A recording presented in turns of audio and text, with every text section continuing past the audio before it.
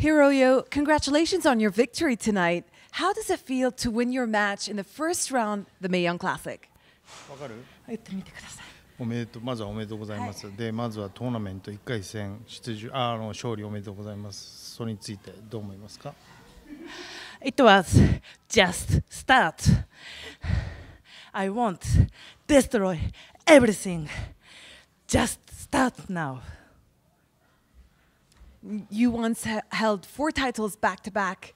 What would it mean to you to win the title of the Mae Young Classic this year? 去年は4個タイトル取りました。で、今回はこの大きいメイヤンクラシックタイトル、どう思います Of course, I will win. Then, maybe next NXT.